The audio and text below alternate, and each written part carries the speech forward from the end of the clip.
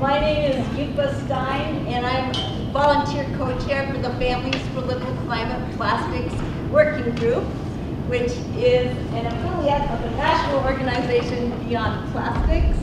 And Families for Livable Climate is a statewide organization based here in Missoula. And Sarah, who is the communication, everybody see Sarah? She's the communications director at Families for Livable Climate and has a lot of information and a sign-up sheet back there, so make sure to check that out. I'm going to check my notes because uh, I don't want to forget anything. So Liz I'm a Amaspichel, where are you, Liz? There's Liz. She's my fellow co-chair of the Plastics Working Group. Yes, hey Liz. Um, so thanks to all of you for joining us tonight. Um, I hope you help yourself to some snacks and drinks and feel free to get up and refill as needed. We'll keep this kind of informal and flowy. Any, anyone got that? Excellent. Um, want to thank uh, little Linda Whittlesey for preparing this beautiful food. Raise your hand. I also uh, want to thank Joe Greathouse for making cookies. Where are you, Joe? She, yeah, she went home. Well, thank you, Joe.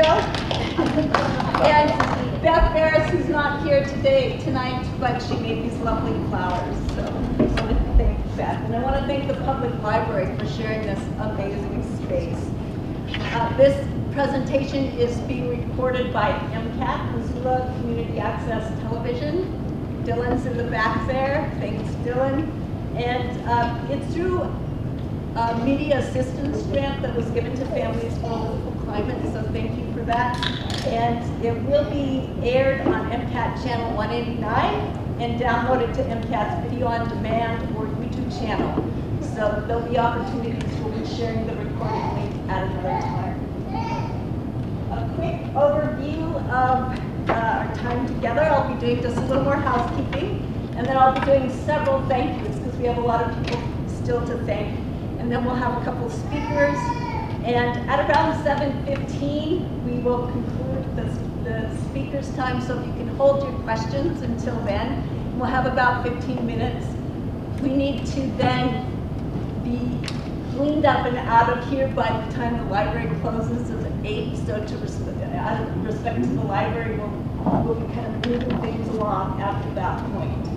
Um, let's see. So, I want to take a moment to be grateful for this land, water, air, and soil, and the biodiversity of life that makes our lives possible. We, this area we call Montana has a long history. This map usually shows the lands that were stolen from indigenous people during colonization. And I want to take a moment to acknowledge the Assiniboine, Blackfeet, Chippewa Cree, Crow, Ventre, Kootenai, Little Shell, Northern Cheyenne, Plains Cree, Pend Salish, Sioux, Hidatsa, Mandan, Arikara, and other indigenous nations of this region, past, present, and future. Families for a Livable Climate acknowledges that indigenous people are on the front lines of the climate crisis and are and will be disproportionately affected by climate impacts. They're also at the forefront of leadership and speaking up about protecting Earth for generations. To honor and support the work, Families for a Livable Climate suggests donations to organizations such as Western Native Voice and Indigenous Environmental Network. I want to thank Providence St. Patrick Hospital for sponsoring this event. And Sarah Johnson is here in the back. She's the Sustainability Program Manager, and they have some displays about some of the amazing work that they've been doing. They were recently recognized as one of the top 25 hospitals in the nation for pursuing environmental excellence. And one, one of the quote from this, uh, this press is, and this is Sarah, we were able to reduce our greenhouse gas emissions by 10.2% from our, our baseline year in 2019. So thank you for your leadership, and let's give them a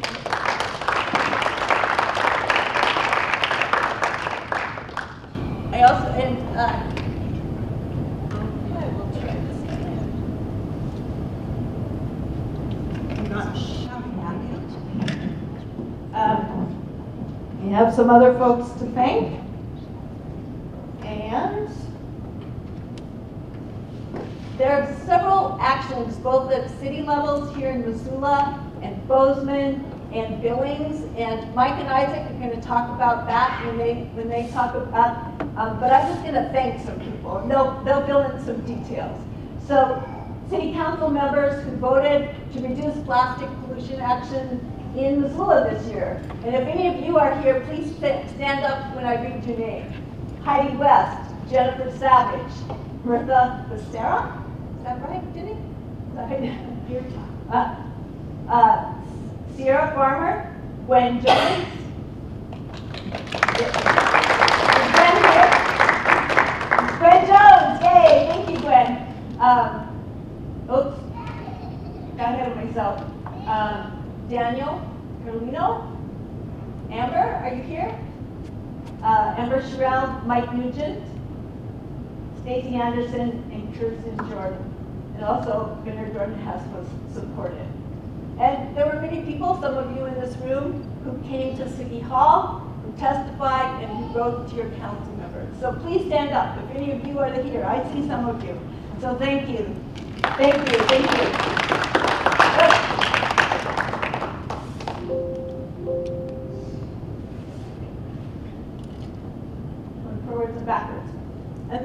Bills in our uh, legislative session this year. And again, Mike and Isaac will fill you in on those. But these are representatives who voted for those bills. They didn't make it out of committee. We have Bob Carter, Representative Bob Carter from the top ones in Missoula. We have Representative John, Jonathan Karlen, who's here. Yay, Jonathan! Uh, Representative Marler, who also introduced the bill, uh, Katie Sullivan, and Mark Fay.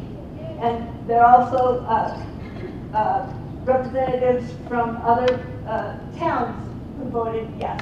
So thank you, thank you, all of you. And any of you who testified, who wrote letters, who spoke up and had your voice shared for legislative action, can you stand up? Thank you, thank you. Okay. All righty. And these are organizations spoke up on legislative actions. Montana Conservation Voters, MEIC, we see we have at least one person, Matthew, are you here? Here, Matthew. He helped out. Uh, Citizens for a Better Flathead, Montana League of Cities and Towns, Forward Montana, Eco Montana, Montana Audubon, Sustainability, Gallatin Valley Beyond Plastics, Cottonwood Environmental Law Center, and Families for Low Climate Group. So the next time we do this for the next legislative session, we'll have pages filled with us. But this is a really good start, so thank you. Uh, now I'm going to introduce one of our keynote speakers, Megan Wolff. Megan is a, oh, can you hear me okay? Yes. Still shouting. Megan is a public health historian with an eye using history to inform policy. After receiving her master's and doctorate in public health from Columbia University, she spent over a decade at Weill Cornell Medical College, where she developed a mental health policy initiative within the Department of Psychiatry. She believes that climate change is the greatest threat to health and well-being in contemporary life and that overproduction of plastics touches on every phase of the climate fight. She lives with her family in New Paltz, New York, and she's here visiting. Her folks live in Bozeman, so she gets to come to Montana every summer. And yeah, you can go ahead and sort of load up. Um, um, she was part of the Minderoo-Monaco Commission on Plastics and Human Health. So it was a global commission looking at all the research we have to date of the impacts of uh, plastics on human health. And give a big round of applause to Megan.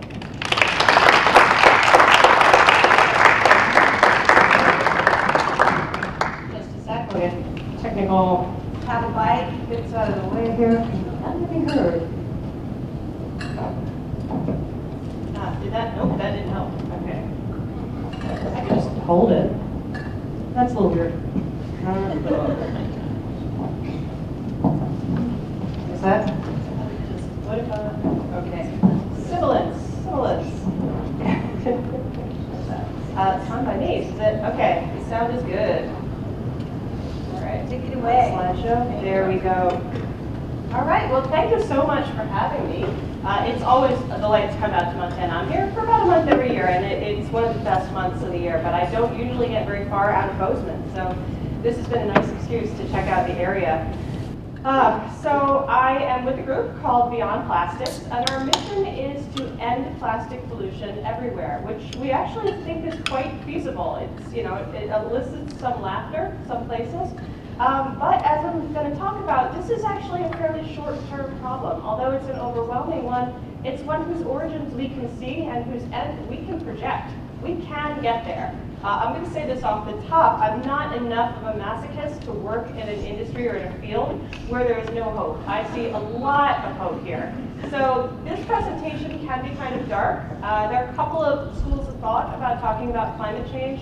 One is that if you talk about it too much and you say too much, then people get discouraged and they tune out.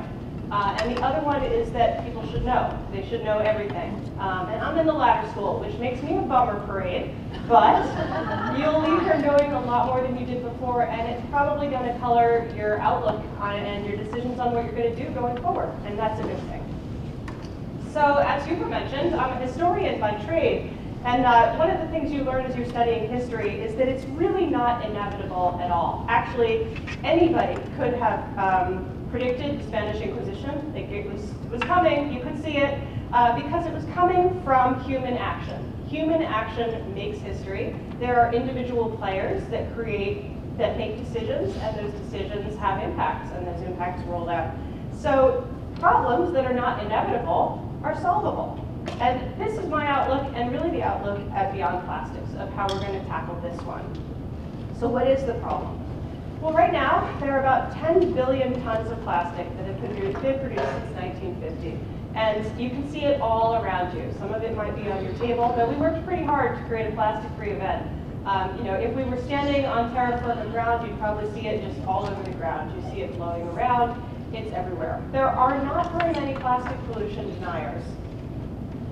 Now, a lot of that plastics are, are really very new. Um, this is a curve of the plastic production since 1950. And actually, as a historian, what I find interesting about this curve is what happens here a little bit after 2000. It ticks up in a way that it hadn't before. It's a, it's a hockey stick curve. Um, there were decisions that were made around this time, um, but also because of those decisions and the new arc of this, this curve, about half of the plastic that exists in the world today was created in the last 15 years. So that is really recent. If you think back to where you were 15 years ago, um, you know, think about the role of plastic in your life. Um, the plastics manufacturers would have you think that you were walking around in a wasteland, crying out for the next new convenience.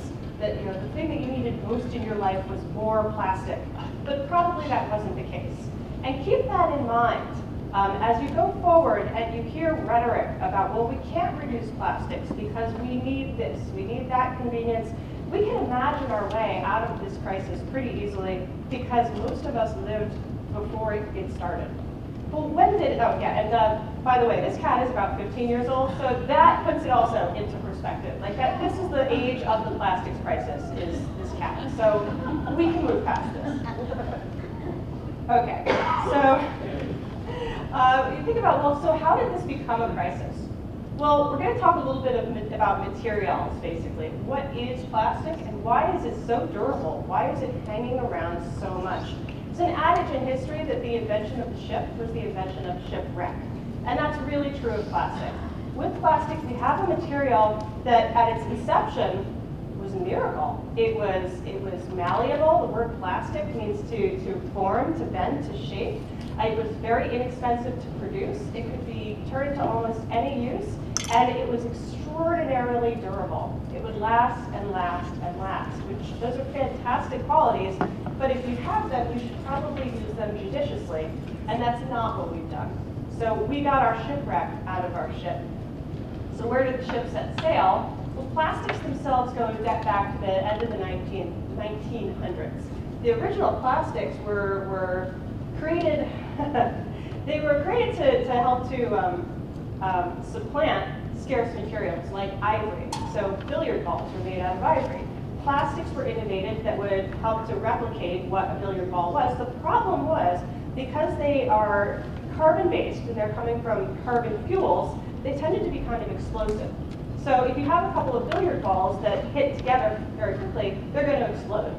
So it didn't have a really great profile as a material, and it was used only very sparingly for things like combs and stuff like that, that you know are moving away from bone and from shell into plastics until World War II comes along, and then we have a need for materials in a really big way. So, better living through chemistry, um, people hit the benches, and they came up with some amazing innovations that really did help the, uh, the, the Allies win World War II. Nylon comes in to replace uh, silk and parachutes. Plexiglass is an amazing material for aviators, for all kinds of people who are going to be having to deal with incoming projectiles. People ask about this particular uh, one. This, um, uh, this airplane, sorry, is a American airplane, and the, uh, the swastikas were the number of uh, Germans that they had shot down. Um, but also polyethylene and polyvinyl chloride, polyvinyl chloride give, you um, uh, water resistance in ways that you never used to have before. So where you would have had to have an oil skin to protect you from the rain, now you have what we consider modern rain, rain gear. So this was a huge series of innovations, and the manufacturers knew right off the top that there were going to be huge numbers of household applications, and that they would want to continue the market after the war. So even during the war, these little mom and pops that had created these kinds of plastics, like Monsanto and Dow, started looking for new markets. And they actually became some of the biggest um, accounts on Madison Avenue as early as the mid-1940s, looking for ways to push plastics into the house. Now, they actually encountered a fair bit of resistance. I don't know who remembered the exploding billiard balls, but many people who handled plastics this early in their history found that they were flimsy, they didn't seem to, they didn't seem valuable, they didn't seem like they were really as durable as they were claimed. So the, uh, the industry did a lot of advertising, and they managed to basically make lemonade out of lemons by marketing things as disposable because they were flimsy, they felt light. So the idea here was to grow the market not by moving plastic into people's homes, but through them. You can throw it away, you can buy it again. And this is the very beginning of our disposable culture as we know it today. This is going to grow and grow and grow, and it did not grow by itself. It grew with millions of dollars of advertising, and it has continued to grow in the same way. But we're looking at the origin here of the problem. Those of us who were born after World War II, which is probably most of us at point, don't even notice plastic. It's just out there. We're like fish in the water going, what's water? Uh, there's an old joke about an up, uh, fish going upstream and fish going downstream, and they meet in the middle, and one says, hey, you know, how's the water? And the other one says, what's water? That's kind of where we are with plastics. You barely even notice it until you start thinking hard. So what is all this plastic being used for? I know that uh, the writing on this slide is a little small, but this top one is packaging.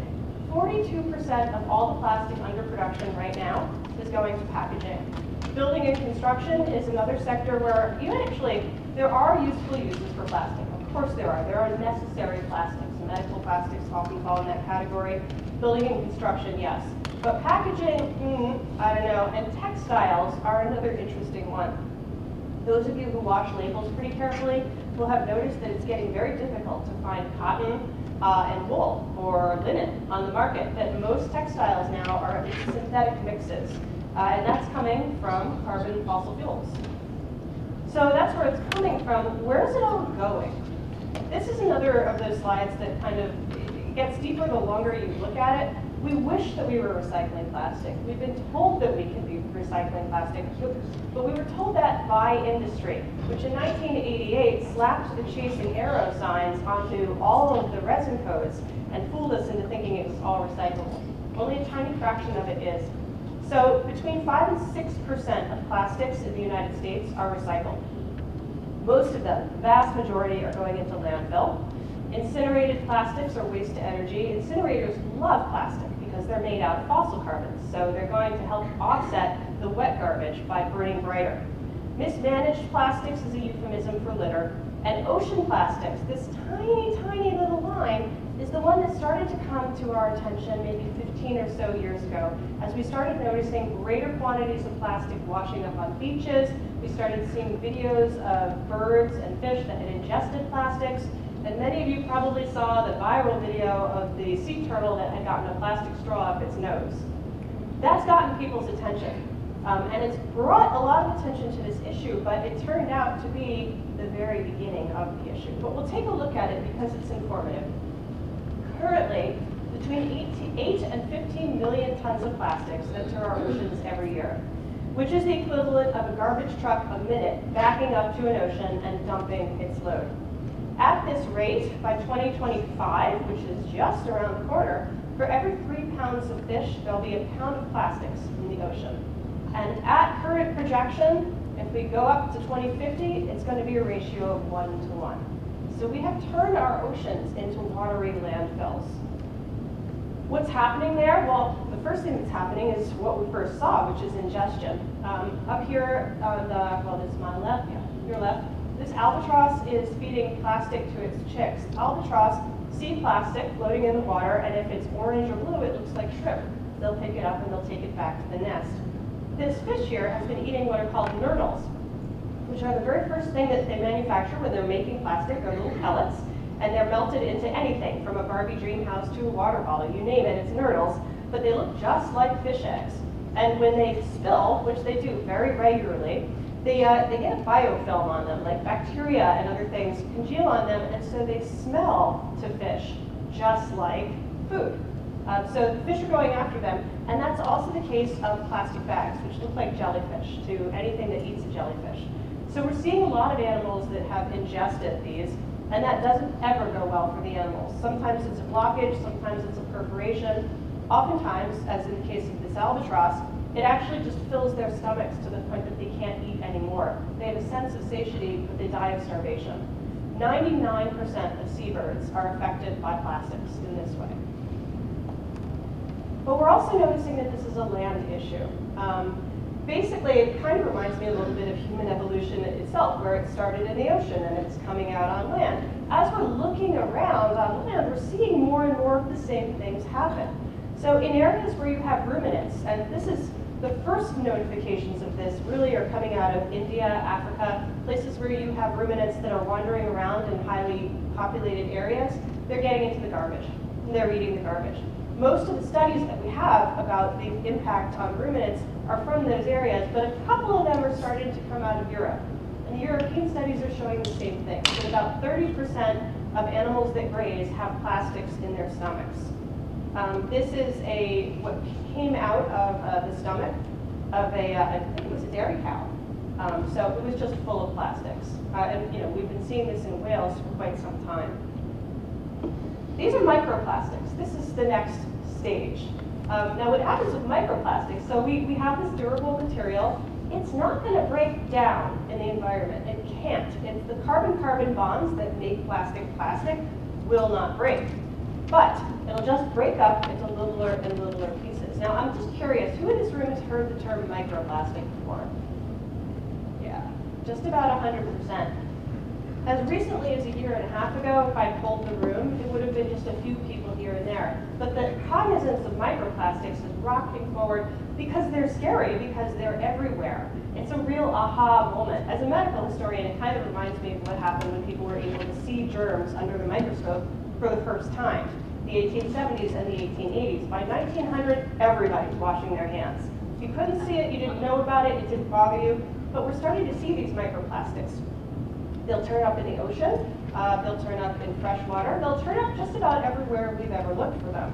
Um, these little guys, D, are the ones that people are becoming, and by people I mean investigators and scientists, the most concerned about because they're microfibers. They're coming off of our clothes. They come off when we're wearing our clothes, they come off when they're washed, and because they're little long fibers, they have the capacity to pick up wind even more easily than the tinier particles do. And so they float around. They're in the dust. They're in the drinking water. Uh, and they're even, oh, sorry, skip, sorry. They're even, I'm going to show you a photo of a snowflake with one on the snowflake. Um, but they're, I mean, they're really powerful. Um, the place that we first started thinking about microplastics and what was happening, again, was the ocean. Thinking about all this plastic that goes into the ocean, what's not ingested gets broken up by the waves and the sun. It gets brittle and it breaks down and down and down. So the largest of microplastics would be uh, an object that would be about the size of a pencil eraser, and the smallest are known as nanoplastics and are smaller than a human blood cell and are in the human bloodstream. Um, they get smaller and smaller and smaller. We don't have an endpoint. It's like an infinity measure on plastics. They never stop being plastic. So being that small, they're very readily incorporated into the hydrologic cycle. So if you have plastics in the water, they're going to evaporate into the air, and they get up into the condensation in the clouds, and they come back down as precipitation. And it's because of that that we're able to find plastics literally everywhere on Earth. Um, some of the first studies finding just how pervasive these were were done in Utah, in the desert. Tons of microplastics in the deserts. Uh, a lot of it was just flowing, but some of it is coming down in rainfall periodically.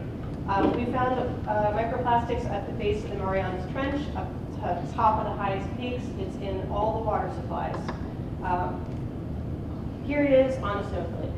So it can hitch a ride on a snowflake. It'll hitch a ride in the wind. It'll hitch a ride in the uh, in the rain. And this is microplastics um, going up the vasculature of a wheat plant. So if it's in the air and the water. It's getting into the ground. It's getting into the soil. It's getting into the plants. We don't know a lot yet. This is a new frontier about what's happening, but we do know that the crop yields go down as you find more microplastics in the soil. We also know that creatures in the soil do not benefit from microplastics, much like um, uh, seabirds. Uh, you know, they, well, we don't know a lot about intestinal perforations for earthworms, but they fail to thrive. There was a new term that was coined this year called plasticosis that's said to affect sea, well, seabirds and any birds that are eating, uh, eating plastics, which is that they reproduce at a reduced rate, they are more susceptible to disease, and they grow less. So we're seeing that even in earthworms. Um, let's see. Yeah, they can stunt the growth of earthworms. They cause earthworms to lose weight. Uh, oh, and effects do include obstruction and irritation of the digestive tract, limiting of the absorption of nutrients, and reducing growth. So what's happening in the larger animals is happening in the smaller animals too. This is an insect in Adirondack State Park that was identified in January of this past year and what's interesting about this to me is that Adirondack State Park, New York, doesn't have any plastics manufacturing facilities. It doesn't have any landfills. It doesn't have any recycling centers. In order for this many microplastics to have arrived in a place that untouched, they had to come in through the hydrologic cycle. This is Flathead Lake, where I'm going to get to go tomorrow. I have not been there. With me with my daughter. Um, many of you may remember last summer a, uh, an article came out. There was a study that was released of uh, microplastics in Flathead Lake. They found them, not too surprising, they found them. And they found about the same uh, rate of microplastics as they did in other lakes that are close to populated areas. So that was a big surprise considering how remote Flathead Lake is. It's thought that much of it, if it's not coming in on rain, is coming in from the, uh, the headwaters um, and coming in from leachate from garbage dumps. So as plastics are breaking down in the garbage dumps, they're getting into any of the waters that are flowing. A couple of interesting um, comments by the investigators on this study. Um, gosh, let's see. Yeah, the chief investigator said, I think people think plastic pollution is more serious in the ocean, but many people live inland and we need the fresh water. It may affect our daily life more directly than plastic in the ocean. So we're hitting a pivot point now where we're getting to realize that on land, it's actually as much as a problem as at sea. We're just beginning to recognize it. This study, study showed that microplastics are literally raining and snowing down on us, out of the sky, said the chief investigator of this study. Um, oh, and there, June 23rd, 2022, University of Montana. So what is it doing in the lake? Well, people are worried about lake populations, including trout. Trout fishing is a, a really, really awesome sport, actually. Isaac can tell you all about it. Um, but uh, I took a look around to see what kinds of studies are being done on the Montana wildlife, and I found Yellowstone trout are fairly threatened. And when a study a couple years ago took a look at Yellowstone cutthroat trout, they found that 30% of the ones they examined had microplastics in their stomachs, which is consistent with ruminants on land, and it's also consistent with what you get from fish. So it seems like there's a baseline background of microplastic across the planet that's impacting things in a very similar way. And there is the lake. So with all of this microplastic floating around, how is that going to impact us? Well, we know because it's in the air that we're breathing it, and it's in the water, so we're drinking it. And much like the, uh, the, the um, location studies, when we look at our food, we find that those places that we're looking also. So it's been found in beer, bottled water that's coming in a plastic bottle, absolutely guaranteed to have a higher load of microplastics than anything you're going to get from the tap. Seafood, sugar, salt, honey, pretty much everything is going to have some, some level of microplastics in it at this point. Ultimately, we find that we ingest about five grams of plastic a week, which is the equivalent of a credit card which raises a lot of questions. This is really bringing it home for people. The big question, of course, is, well, what's happening to me when I eat all that plastic? The good news is that you do pass most of it. 90% or more goes right through you. But that still leaves a percentage of plastic in your body that you probably don't want to have in your body, and we would really like to know what it's doing when it gets there. Well, we've started to find various different spots in the body where it's popping up. Um, some of the studies have shown it in the human lung, probably from breathing, um, in the intestine, probably from eating, uh, but it's also popped up on both sides of the placenta, mother and child. Uh, it's in meconium, which is the first stool that an infant passes, so before a newborn child has eaten anything, they have microplastics in their stool. It's in human breast milk, um, and it was recently located in the human bloodstream, which causes people to ask, well, what about the blood-brain barrier then? If it's in the blood, when is it going to cross into the brain? Can it do that? We don't have evidence yet in humans that it's in the brain, but we do have animal studies that show that it, yes, in mice and in zebrafish, we can see that it has crossed and it does impact their behavior. So we're looking. So this is really getting upsetting. So these are my daughter's rabbits, Flopsy and Noelle. They are super adorable. If you need an adorable rabbit, get a mini lop. They're like this big. They're like jelly beans. They're so cute. So just take a breath. we'll continue. Um, I'll try to do so with at least a little bit of levity. What does it mean? Um, so investigators are looking. And as you've mentioned, I had the privilege of being on one of the teams that was looking really hard. Um, this is a tiny fraction of that team, but the chief investigator here was Philip Landrigan, who is a person who is a pedi pe pediatrist. I'm gonna talking all day. Pediatrician and a toxicologist, and he spent his career looking at pesticides, lead, other similar um, toxicants on children and on developing fetuses. And of course, every time the findings are horrendous. But what he's really good at is leveraging those findings. It's not enough to have the data. You have to take the data to the policymakers and demonstrate that it's got an impact. You've got to take it to the public, you've got to let people know. And he's been enormously effective in his career in doing that. He was one of the people who was instrumental in getting lead out of gasoline on the basis of its impact on developing children. So he's taking aim now at plastics because he's seeing the same thing. Uh, he was noting that, you know, if you go through the toxicological profile of plastics, which I'll get to in short order, they tick every box for a, uh, a bannable substance, a hazardous substance that could and should be banned through the Stockholm Convention, which is an international instrument that we use. Um, so this was a group that had a lot of scary data and a lot of hope because Phil's done it before, and he continually keeps pointing to the Montreal Protocol, which banned CFCs, chlorofluorocarbons, uh, and helped keep us from destroying the ozone layer. Took the entire planet's consensus to do that, and we did it. So if we can do that, we can do this. So what happens to the human body when it encounters plastics? Well, the first one is mechanical, which is punctures.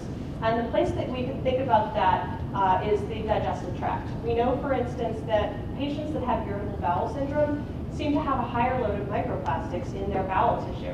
But we don't know which side the horse and the cart are on. Is it because the tissue was inflamed by the plastic, or does inflamed tissue take up plastic? Not sure. But we do know that when you put plastic next to human tissue, it does get inflamed. The next thing is the makeup of the plastic itself. So plastics are made of chemicals and fossil fuels. Uh, fossil fuels mostly being, in this case, um, oil and gas, especially ethane gas. The chemicals, though, are what we want to think about the most. Um, the chemicals are added for lots of reasons. To turn a, a you know, pint of oil into a plastic fork, fork you're going to need plasticizers, coatings, heat stabilizers, antioxidants, UV stabilizers, flame retardants. There are more than 10,500 chemicals that are used in the production of plastic that we know of. We actually know that there are thousands and thousands more, but they're trade secrets, they're proprietary. And the way that the law works with chemicals, many chemicals, they're innocent until proven guilty. So I can innovate a chemical tomorrow, if I could innovate a chemical, and put it out there on the market, and then just wait to see if it kills anybody. And it will take about 30 years of data to get that, that to be proven definitively enough that the FDA or the EPA might get involved. Um, so we get a lot of a lot of chemicals out there. 2,300 of them that have been studied are chemicals of concern, meaning that they're known carcinogens, they're neurotoxicants, and they're endocrine disruptors. So we know that those impact human health. So this is Phil's slide, and I find it pretty instructive. What is plastic? This is the only chemistry slide I will show you. Um, so the polymer backbone is that carbon-carbon bond that makes plastic so strong, and that's these guys. But then you've got all these additives, and they're phthalates, these phenols, PFAS, brominated flame retardants. You've probably heard of these. They sort of float around in the like scary do not eat category. They just sit inside the cell, or rather inside the molecule. Now, the molecular bonds aren't going to break, but these guys don't have any bonds at all. So they can drop out of the cell and they sell, geez, uh, out of the molecule anytime. And they do. Through the entire existence of this molecule, it will continually leach out chemicals. Um, among the ways that you can look at it doing are, you know, if you have foodstuffs that are sitting in plastic, you've got the bottle, which is largely chemical, you've got the foodstuff, and then you've got whatever's going on outside, and the bottle is going to leach out into the food and into the outside. Ways that it will leach more, high temperatures. So no matter what you read on a microwavable anything, if it's plastic and it says microwave safe, do not do it. If you take anything home from this presentation, don't nuke it in plastic or heat it in plastic. Portion size matters. The smaller portion sizes, you have more a greater ratio of exposure from the food to the plastic. Long contact hours, so if it's been sitting on your shelf for years, kind of looks like a good idea, might not be a good idea. And fat-soluble foods will also take in a lot more of these chemicals. What are they? Well, flame retardants.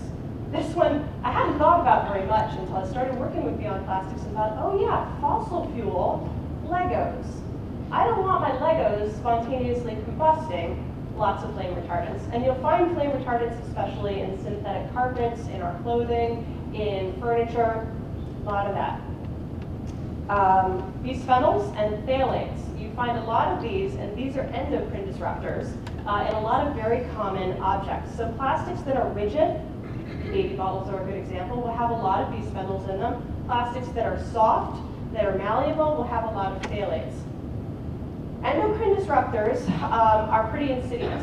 What they do is they mimic hormones. They look a lot like a hormone. And hormones, of course, travel around the human body flipping switches, telling your body what to do and when. So they're, they're basically on-off switches, and they're very, very carefully synchronized. Um, let's see. When they're disrupted, they affect necessary systems all over the body. So endocrine disruptors can impact hormones that regulate our appetite and our metabolism, causing obesity, diabetes, high blood pressure, and heart disease. Endocrine disruptors can disrupt brain development, causing lower IQ, ADHD, and autism spectrum disorders. And endocrine disruptors can cause cancers, especially breast, prostate, and testicular cancers. And all of those things are on the uptick. Periods of greatest vulnerability to endocrine disruptors are developing fetuses, for whom it's a very significant issue for the um, intellectual development. Um, small babies, infants, crawling kids, and toddlers. Um, and one thing that all of these groups have in common is that none of them can vote. So here's the buddies again. It's gonna get better from here. Because from here, we're gonna start thinking about solutions. Oh, I'm sorry. Other ways that plastics can kill you, things that go kablooey because this is a highly industrial thing. So if you, you've got extraction and then you've got production, you've got a lot of things that go kablooey. Here's one of the most recent ones, which, you know, with heavy, industry, chemical transport, you've probably heard a lot about the East Palestine train derailment, which had train cars of polyvinyl chloride that were destined for plastics. Turns out the EPA never ruled on, on lighting those cars on fire. It was a decision by, I believe, the transit authority to keep the rails clear for industry. So they lit it on, lit them on fire because that was the fastest way to get rid of them. Uh, oh, plastic and uh, climate change. Yeah, okay, fossil carbon, climate change, class dismissed. Like, really? You've got a thing that's made out of a fossil carbon, it's going to be off-gassing all through its life cycle, and it does. And it does it to the extent, not just the off-gassing, but the energy necessary to create plastics, that if plastic were a country, it would be the fifth largest uh, climate pollutant. So huge link right there. So why is this happening? Here we are with the solutions. There are answers, and with these answers, we can solve the problem. And I'm about to go over time, so I'm about to start talking faster. Uh, why is it happening now? Well, the good news and the bad news, and then some more bad news and some good news also, is the climate crisis. People who are sane are looking for renewable energies and are purchasing renewable energies. Renewable energy is now beginning to outstrip fossil fuels by price. It's becoming cheaper. It is a miracle how quickly our renewable energy sources have been tapped and scaled. Um, but that is starting to make the fossil fuel industry very nervous where they're not going to be able to sell fossil fuels. They're looking for other markets, other things that you can make out of oil and gas. And that is plastic. So plastic is the plan B of the fossil fuel industry, of the petrochemical industry. They've been at this for quite some time, and that is why around 2005, we started seeing an uptick in production of plastic because they are opening new markets at the same rate that they did, or in the same way that they did at the end of World War II.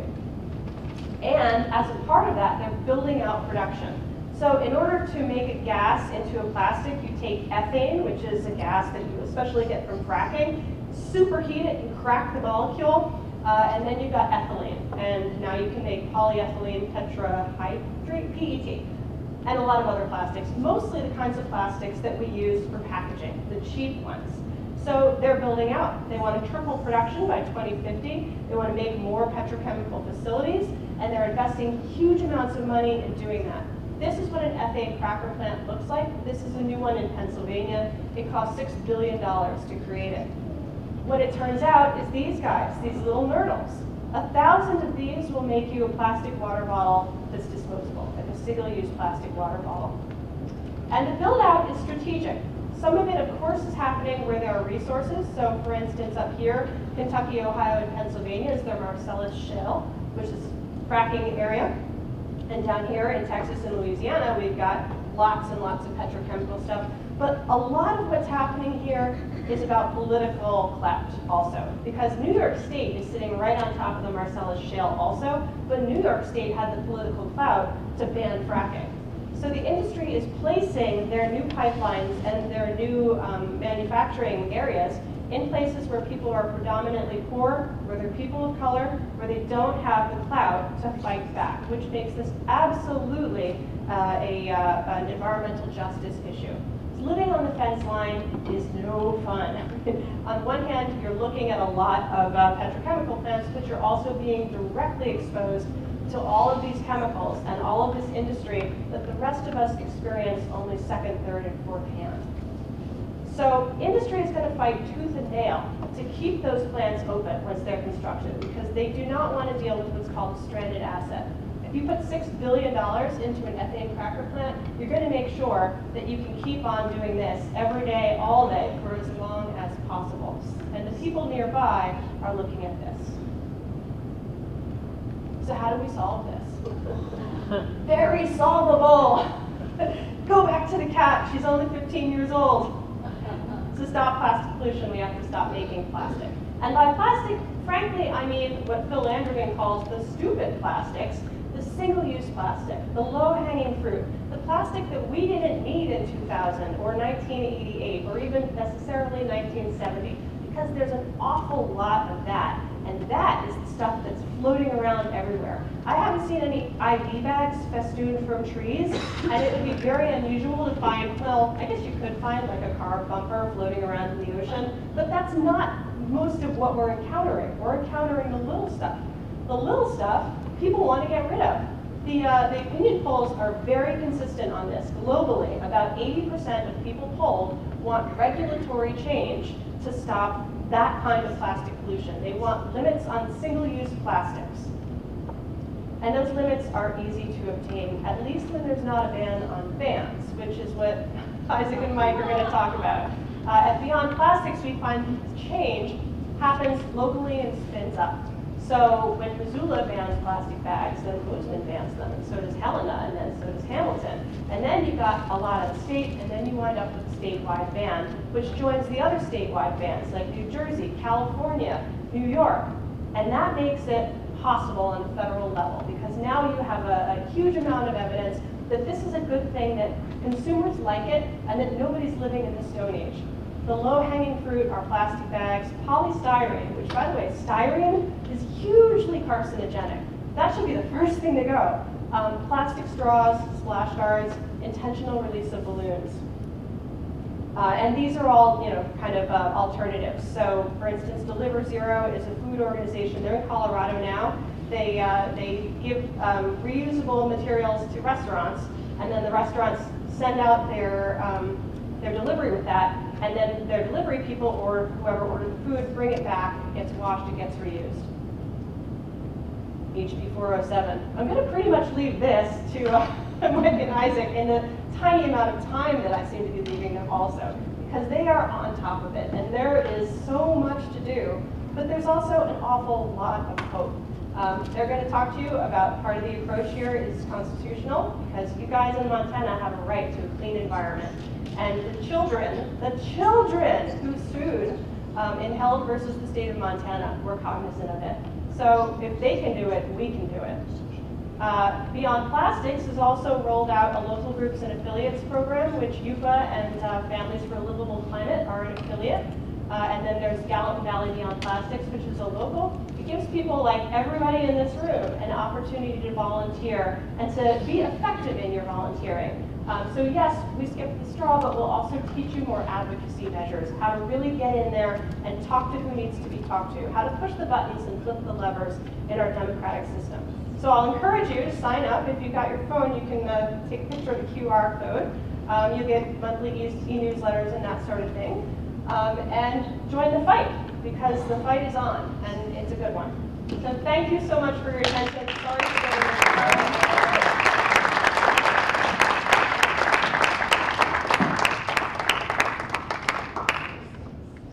Did you want to hold questions to the end? Yeah, let's- Yeah, I let's think that would be have it to better. the end. Yeah. So Liz is going to introduce Isaac and Mike.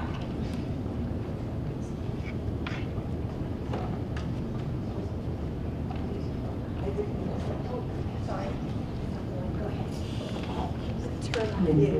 Okay. Hi, everyone. Um, I am uh, happy to introduce Isaac Cheek and Mike Lilly, who are here um, to give us an overview of plastic policies in Montana. Um, they, well, they are here from the Cottonwood Environmental Law Center in Bozeman. Um, and they were on the forefront of helping organize um, to, to protest um, HB 407, and they were, they, um, and UPA has been working really closely with them, I don't know a little bit later. Um, Isaac is a grassroots um, conservation coordinator for the environmental, the Cottonwood Environmental Law Center. Went to the University of Utah and received his degree in political science and environmental studies. And he was attracted to come to Cottonwood um, to because he was so dissatisfied with what it, the status quo. Um, and at Cottonwood, he wears a number of hats. He is a researcher, a communication specialist, an organizer, and as he labels himself, a lackluster IT guy.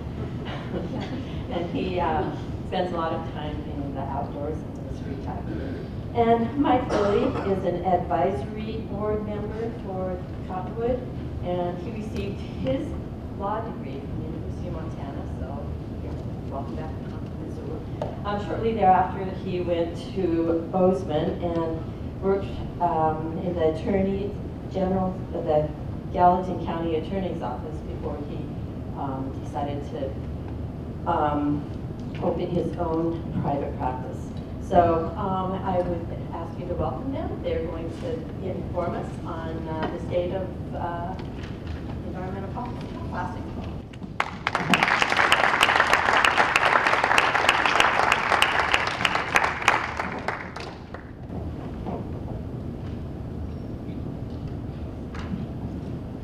You guys hear me okay? Did that help at all? And, and he's Isaac, right? Yes. Yep. It's on. All right. Is that okay? Is that okay? Yeah. I'll talk loud. Okay.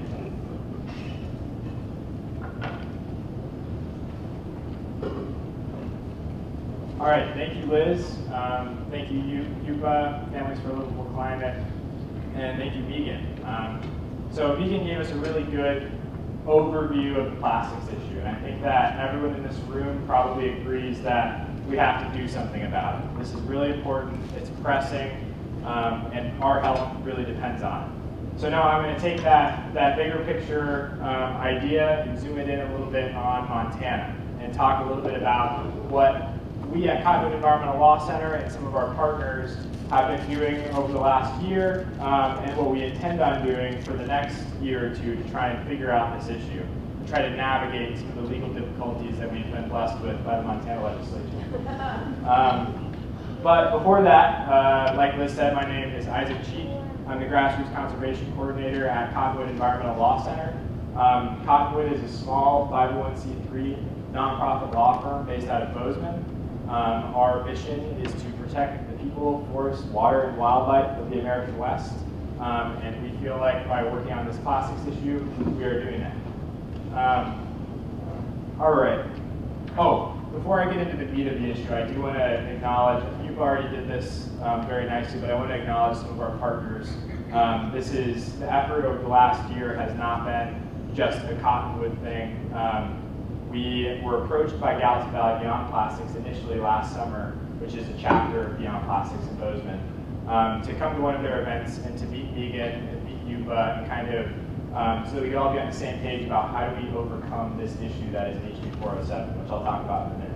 Um, and from there, we kind of decided that we needed to reach out to groups across the state and build up a grassroots network um, of different groups and individuals who are concerned about this issue. And as soon as we started doing that, we realized how many people across the state really are concerned about this. So from Billings, um, Sustained Billings, Katie Harrison runs an awesome group over there. She was instrumental in getting Billings on board with this at the legislature. Matthew's here from MEIC who helped us out in the legislature as well. Um, and uh, Families for a Livable Climate. Uh, throughout the presentation, I'll be referring to partners quite often, and I just want to put it out there that that's referring to the list of people that people was talking about. So let's get into the meat of the issue, which is, oh, there might be some weird formatting. I just switched it to PowerPoint from Keynote, so I apologize if things get cut off. But um, so really what we're facing is one big roadblock in Montana that we need to overcome if we want to do anything about the plastics issue locally. And that roadblock is House Bill 407. And I want to start with that, start with the bad news, because from here on out, this whole presentation is going to be solutions oriented, because there's plenty of solutions. Um, House Bill 407 was passed by the legislature in 2021, um, and it's been since dubbed a ban on bans. And the official title was Statewide Uniformity in Auxiliary Container Regulations. Basically what it did is it made it so that local governments and citizens can't pass um, any ordinances, resolutions, or citizen um, initiatives to regulate plastics at all. So it kind of tied everyone's hands behind their backs. Um, and it was done under this guise that you're going to have uniform regulations statewide. No regulations exist statewide on plastics. But either way, this is what we're stuck with right now. We need to figure out how do we overcome and circumvent, how or circumvent House Bill 407 so that we can address the plastics issue on a local level and have that invariably spread to a more than local level, a statewide level and a national level. But first we have to figure out House Bill 407. So that's what we tried to do this legislative session. And we tried to do that in a few ways. Um, our first strategy was pretty simple. We, um, we tried to combine local pressure with um, some state action to repeal House Bill 407 outright. Um, and it went okay, especially at the beginning. Um, we got some cities on board. Um, Bozeman and Missoula both passed resolutions that basically told the legislature, you either need to pass a law and have an actual statewide uniform plastics regulation, or you need to give us the power back to address this issue. And, and those resolutions were passed in Missoula and Bozeman. Um, the city of Billings unanimously supported the eventual legislation, which I'll get to. Um, so with the local pressure from cities, plus local pressure from citizen groups, um, including like groups like Sustainable Billings and Families for Livable Climate and Beyond Plastics, um, as well as a bunch of individuals across the state who are really concerned about this issue. We had a pretty solid group of people who went to the legislature and told them, hey, you need to give the power back to local governments. Um, and they did that when they testified in favor of House Bill 413, which was proposed by Representative Ed Stafman out of Bozeman. House Bill 413 was the state action that we were encouraging. Um, it was very, very simple. It just took the language that was added to Montana Code annotated by HB 407 and took it out. So it would have given the power back to local governments to address this issue um, and back to citizens to pass local initiatives to address this issue. It would not have forced local governments to pass plastics ordinances, and it wouldn't have taken the power away from the state to pass statewide regulations. Um, so we thought it was pretty reasonable because over the last year, um, the state had said we're passing HB 407 in order to have statewide uniformity. They had not passed any bills to create the statewide uniform regulation. So we figured, think it's time to give the power back to the local governments. Unfortunately, um, House Bill 413 was voted down along party lines um, in the uh, House Local Government. Um, and that was a bummer, but it wasn't, it wasn't all bad because this House Bill 413 was beneficial for two reasons. One, um, it helped set the groundwork for future legislation. So if we decide next legislative session that we want to bring a similar bill that would repeal House Bill 407. We have that text written. Um, we have multiple representatives who are very much on our team. Um, and more importantly, the second reason it was beneficial is because when we went to the legislature and brought this bill, and we had the day where everyone went to the Capitol and testified in favor of it, we had people show up that we didn't know were on our side. Um, so it, it grew the group of people in Montana and interconnected people um, who were in favor of repealing House Bill 407 and taking action on plastics. Um, but we don't really want to wait. We didn't want to wait until the next legislative session. We want to do something about plastics right now. So our second option was to um, push for HB 638, um, which would have been a statewide regulation on plastics. HB 638 was um, brought by Marilyn Marler out of Missoula, and it, this was the third year in a row that it had been brought, um, and it would gradually phase out styrofoam, polystyrene, like Megan said, across the state.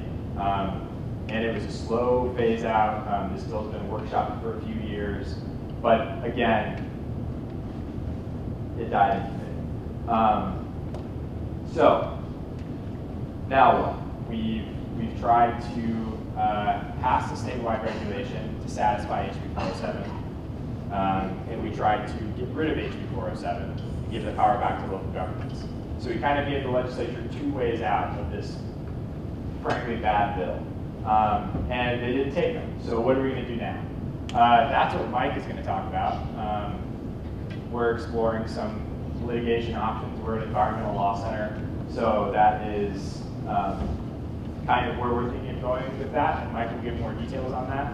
Um, but before we get to the potential litigation to address HB 407, um, I wanted to give some action items that you to support the groups that are um, fighting to get rid of HB 407 so that we can do something about plastics in Montana. Um, so one thing you can do, if you're interested, after Mike talks about what this litigation might look like, if you're interested in getting involved, whether that be as a plaintiff or if you're part of a group that might be interested in getting involved as a plaintiff, um, please reach out to us. And I'll leave the contact info for Cottonwood um, up when Mike is speaking. Um, and uh, second, if you just want to stay in the loop, um, and we'll send out action alerts as things come up. Although there's not quite as many, you won't get quite as many action alerts about the litigation as you would legislation because the citizens wouldn't be involved in that as much. But um, if you want to just kind of stay up to date, figure out what's going on, and, and hear about when we potentially file this lawsuit, then uh, you go on our website, uh, scroll to the very bottom, and sign up for our newsletter, hear more about some of our other work as well. Um, and the last thing that would be really helpful is if you could make a donation to Cottonwood Law or um, help fundraise on behalf of Cottonwood Law. Because we are a 501c3 nonprofit, um, we represent all of our clients pro bono, so to um, move forward with the litigation that Mike's going to talk about, we rely on um, funds from individual donors. Um, and if you scan that barcode, that'll take you to our donation page, and from there you can navigate and look at some of our other work um, on things like clean water as well. Um, this site, you get a hold of us. Um, and again, can scan the barcode to get to our website. Um, thank you all. Thank you all for coming out tonight. And I'll go ahead and pass the mic over to Mike.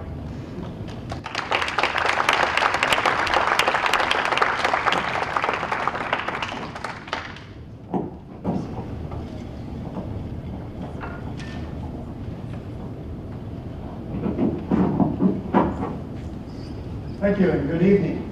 I had to chuckle when I saw the screen come up and describe me as a longtime Bozeman attorney. That's just a nice way of saying I'm old. But it's true. I graduated from the University of Montana Law School in 1978. And every time I come into the valley through the Hellgate Canyon, uh, I have a lot of fond memories of my time here in Missoula. I'm always glad to come back. Really pleased to be here tonight.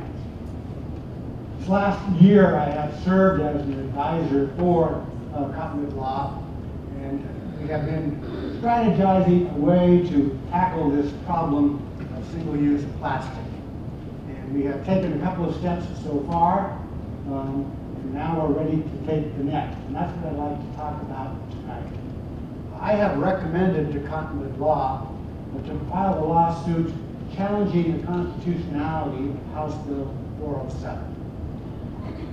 We think that there are three grounds on which that statute is unconstitutional. The first uh, ground is to do with its title.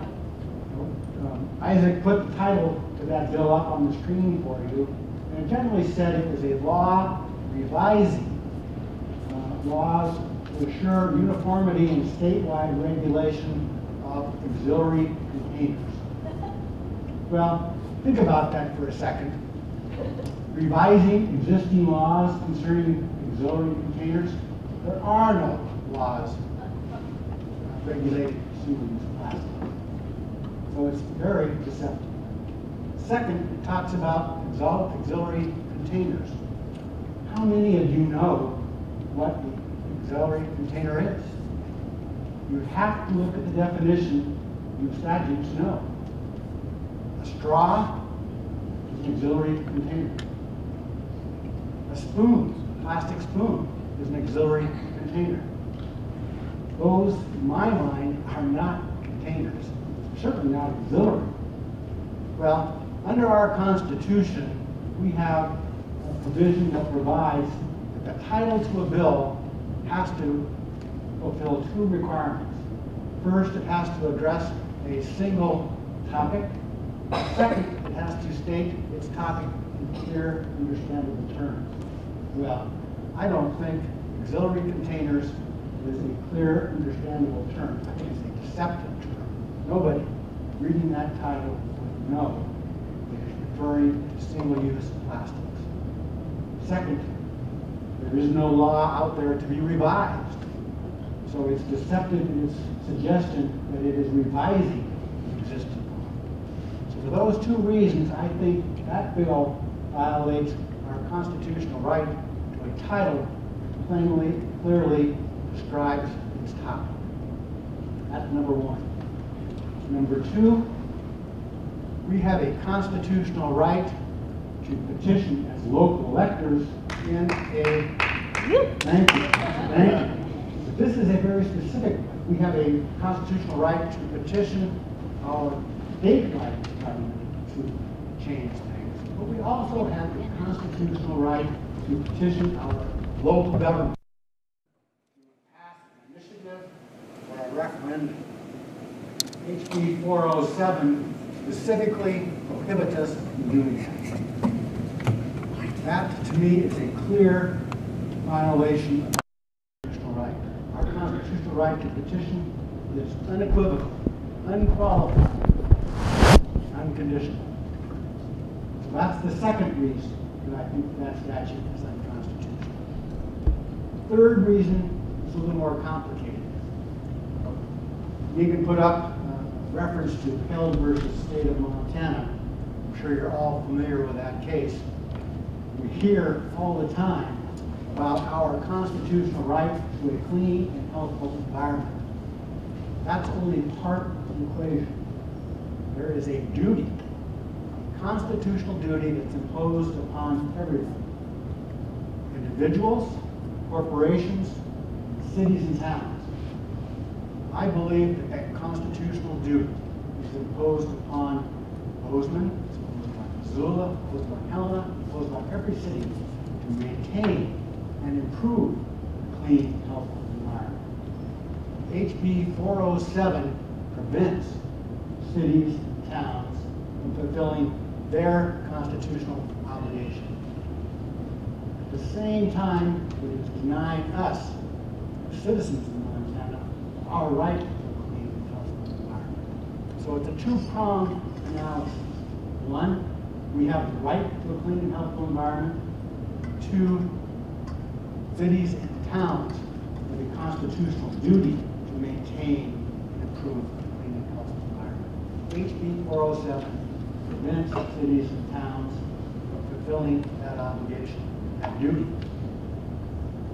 At the same time, the Constitution imposes a mandatory duty upon the legislature to provide adequate remedies to assure that we have clean, healthy environment. Our legislature has done nothing to regulate single-use plastics. Nothing. That, in my mind, is a breach of its duty to do so. So, on one hand, you have the legislature failing to fulfill its constitutional duty, same time preventing cities and towns across the state fulfilling its and their constitutional duty. That, to me, makes 407 unconstitutional. The thing is, we need to keep this in context.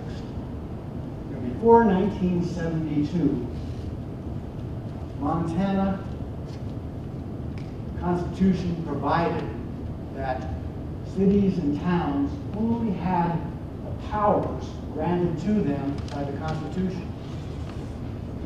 In 1972, we adopted a new Constitution that completely flipped the switch. Now, under our Constitution, cities and towns have the right and the power to do all that they believe is necessary to, take care of their citizens unless, unless the legislature takes that power away from it. That particular change in our Constitution was supported almost unanimously by the delegates to the Constitutional Convention.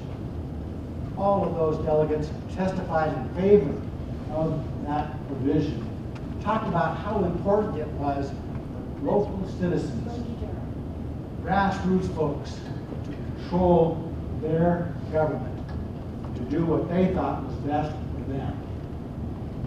The legislature, since 1972, has consistently routinely eroded that power. This statute is only one of many that the legislature has passed denying cities and towns power to regulate environmental issues. The legislature not only banned cities from regulating single-use plastics, the legislature has banned cities and towns from adopting building codes that make buildings uh, electric, uh, not efficient, um, electric grid. I think that's what it is. It has banned cities and towns from regulating natural gas hookups to, to buildings. It has consistently taken steps to prevent cities and towns from addressing environmental concerns that concern all of us. Single-use plastics is only one. So I think now is the time to stand up for cities and towns to stand up. It's time for us to stand up. It's time for everyone to stand up to the legislature and tell them, we have the right to control our destiny. You've taken it from us. We want a court now step in and tell you, you're depriving those folks, you're depriving those cities and towns of their rights to govern their affairs. You're depriving them of the right to protect their constitutional right to a clean and healthful environment. That's exactly what we intend to do with this lawsuit, hoping that you'll all join us in that effort.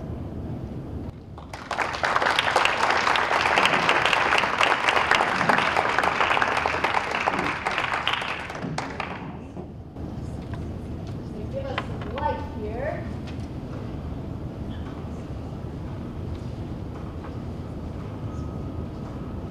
So we have, thank you so much, Megan, Isaac, and Mike. Um, We have about 13 minutes uh, for questions, and then we have to kind of get things out of here. So um, any questions? Yes, Mary? Question for Megan. Right here. Um, so the mo, oh, yeah. the molecule of carbon-carbon, um, what did you call that? Uh, that's a covalent bond. Well, no, but Yeah. the little microplastic units, Oh, the little guys in there were the chemical additives that gives the molecules its properties. So whether it's pink or floppy or, you know, but it's you, you had a, a term for it, Polyethylene. Like lu- or? Nurdles? Nurdles. Okay, could you spell that? Oh, sure. Yeah, the nurdles are the little pellets that are created at the very point of, of manufacture, and that's spelled N-U-R-D-L. Nerd. E. Nurdle. Okay. yeah. So my question is, are, are the, uh, the microplastics, are the additives that are? No. Or they're the nurdles? So if a nurdle breaks down, a nurdle, actually a nurdle is about the size of, it could, it could technically be a microplastic, a nurdle. But as they break down and down and down, and get smaller and smaller, those are the microplastics. So yeah, any little bits of plastic that can get like mixed up with sand, or it actually like um, uh, a lot of um, uh, cosmetics used to have micro beads in them. Those are plastics. So those are microplastics right there, like instant microplastic. Okay, Yeah. and then the additives are just chemicals in the Yeah, the additives are the chemicals that are in the material. Well, yeah. right, but then they, And then they leach out. Yeah. Yeah, so as those microplastics get into the human body, they're like Trojan horses because they're just going to continually leach out those, those chemicals. thank. No problem. Other questions? Oh, we have a couple. Just to add about the Nurdles. Um, there's a citizen science project called Nurdle Patrol. Um, we've done it in a couple summer camps here in Missoula where you can get a free Nurdle kit and go look for Nurdles in waterways and along um, railroad tracks and stuff like that. It's really fun. It's free. If you have kids, you can go look for Nurdles. We haven't found any here in Missoula, thank goodness. But Actually, the Nurdle Patrol started in Texas, and they won a big lawsuit against Formosa. And so there's, there's uh, reasons to be collecting those things. This is Michelle from Home Resource, and they've done a lot of work on zero waste in Missoula. Um, Thanks for such great information today, and um, the policy discussion is fascinating, and it is, it is a tough landscape in Montana, but good people are on it, so I really appreciate that. But my question is, is there a good plate, so on one hand, policy is very important, but then there's also, from the bottom up, people changing their habits, and is there a good resource to go? And frankly, my specific question is, we have over 40,000 dogs in this valley on top of an aquifer, and we want people to pick up their dog waste. And now I'm starting to wonder, are my biodegradable dog baggies truly biodegradable? Like, what, what should we be doing? And maybe as on a broader level, is there, are there some good websites to go regarding next best steps? I would look at, any zero waste website is gonna give you more of the stuff than I could ever start spewing. I mean, there are many, many good resources for moving away from plastics in your consumer habits. Um, so yeah, just Google zero waste, and there's zero waste groups in many, many cities, um, probably including, or almost definitely including this one. Um, the compostable bag question uh, is an unfortunate, like, I'll get thrown out of the dinner party for, you know, bursting everyone's bubble on this.